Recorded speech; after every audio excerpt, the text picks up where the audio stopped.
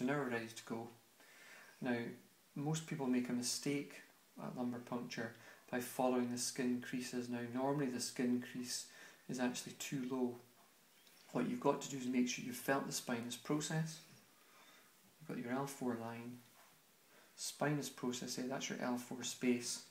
And if you actually put your fingers either side of the L4 space and imagine parallel tram lines, that gives you a visual guide to get your needle in.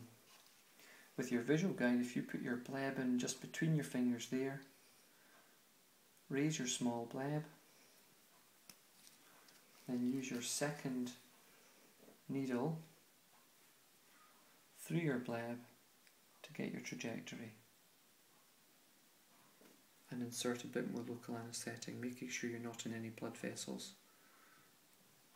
Once you've done that, because the skin's instantly anaesthetised, you can then take your spinal needle through your bleb and, in, and insert it. Now you're going at a slight angle. Okay, it's about a 45 degree angle. Remembering that if you can get that needle in at that angle, that trajectory, without hitting bone, and you get the needle up to about halfway to three quarters of the way in, you should be looking to get CSF out. If you do hit bone, you've just got to adjust your trajectory slightly and try again.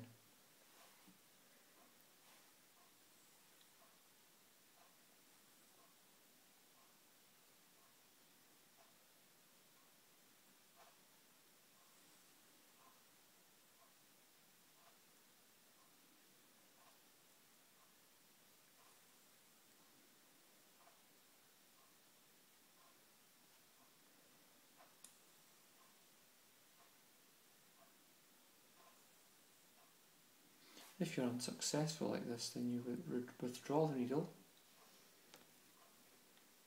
and just try again at another angle.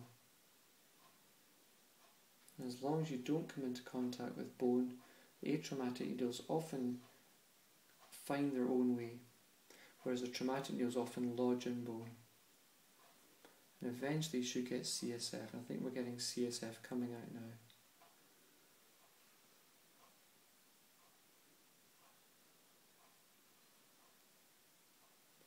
Once you've had a few drops of CSF come out, just put the stylet back in and get your manometer ready. The main thing with the manometer is to make sure you loosen it before you attach it because they can be very stiff.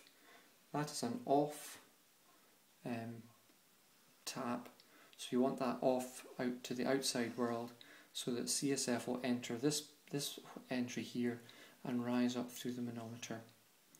You also want to have your CSF bottles ready to go, although usually your assistant will do that for you.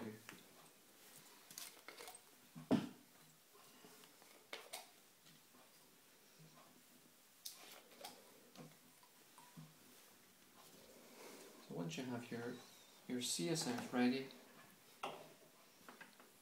needles out, attach the manometer and wait for pressure to rise. You may have to wait anything up to a minute for pressure to rise for lumbar puncture.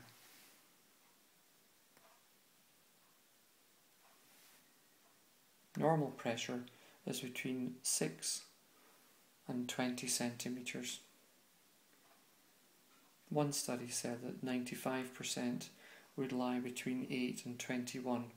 In obese subjects, the normal pressure can be up to 25, according to a study from the States but anything anything over six is almost certainly normal. Anything below twenty um, and greater than six is certainly normal. Over twenty, you may well have a high pressure syndrome. The main error people make with measuring pressure is that the head on the bed is slightly too high and it gives an artificially high pressure. Once you've measured the, once you've got the pressure equilibrated here, and we're sitting, we're still climbing here. If we just, for argument's sake, say that um, that's our pressure here, what we can do then is collect our samples. Now you can collect samples in two ways. You can just turn the tap off to the manometer and then just allow samples to slowly come directly from the spinal canal or you can turn that off to the, to the body and you'll get a rush of CSF down the pressure gauge.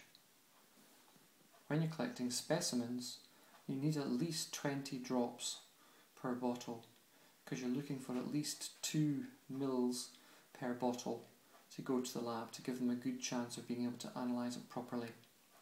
Now, many people worry that if they take um, large samples, they're going to injure or harm their patients in some way. But actually, you've got to remember that you make 500 mils of CSF every day, which means that 21 mils are made per hour. So 10 mils will be replaced by your body within half an hour of the procedure. So, um, you know, taking generous samples is well within your right here. So here's coming up to 20 drops now. And once you've collected that sample, you can move on to the next, etc. So if we now imagine we've now taken all our samples, what you then do is you can disconnect your manometer. Before you take the needle out, you should actually put the stylet back in because if you don't put the stylet back in, um,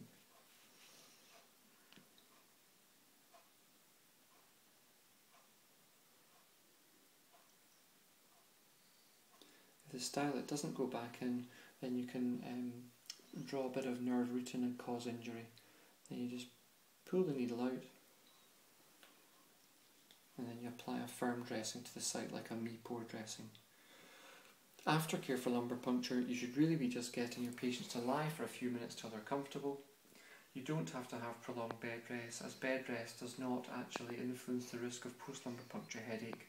It's really just being humane to let people lie for a while after lumbar puncture, um, but prolonged bed rest is not required.